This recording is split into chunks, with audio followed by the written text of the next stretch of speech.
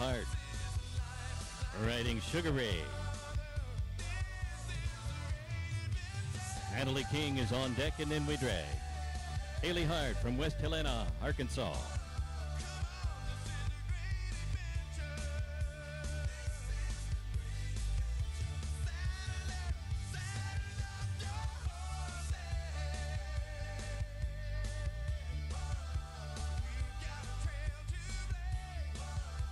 It's a 16 680 on that ride. 16 680.